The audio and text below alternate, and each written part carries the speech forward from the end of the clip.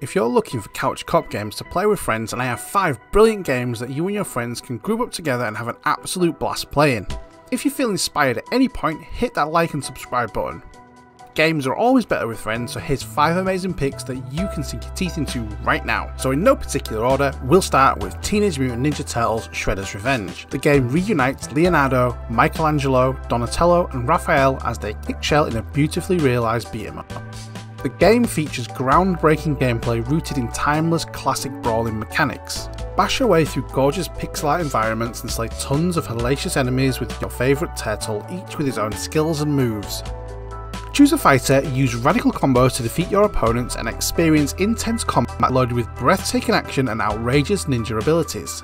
Stay sharp as you face off against Shredder and his faithful Foot Clan, either alone or grab your best buds and play with up to 6 Next up, we have Streets of Rage 4, amongst the best beat 'em up series ever created, jamming 90s beats and over the top street fighting. The iconic series Streets of Rage comes back with a masterful tribute to and revitalisation of the classic action fans adore. Classic Streets of Rage, known as Bare Knuckle in Japan, is a trilogy of beat 'em ups known for this timeless gameplay and electronic dance influenced music. Streets of Rage 4 builds upon the classic trilogy's gameplay with new mechanics, beautiful hand drawn visuals, and a god tier.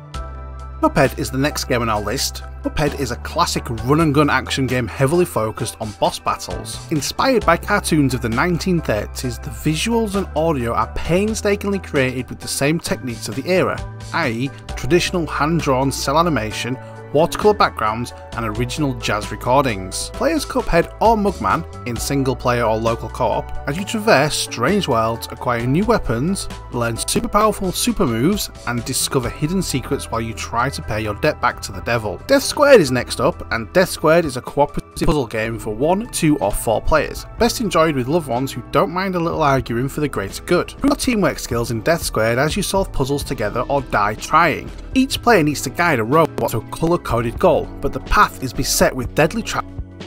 Teams of players will need close observation and communication to keep each other alive and discover a solution together. Complete the main campaign with one or two players and then take a group into 4 player party mode for the ultimate teamwork trial. For those who can't get enough, head to the vault to find extra experiments recommended only for the Minecraft Dungeons. Fight your way through an exciting action-adventure game inspired by classic dungeon crawlers and set in the Minecraft universe. Brave the dungeons alone or team up with friends. Up to 4 players can battle together through action-packed, treasure-stuffed, widely varied levels all in an epic quest to save the villagers and take down the evil arch-illager. Personalise your character, then fight up close and personal with melee swings, hang back with red attacks, or tank your way through swarms of mobs shielded by heavy armour.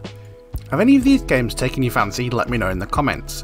If these didn't quite hit the spot, then check out this video on multiplayer games to play with friends.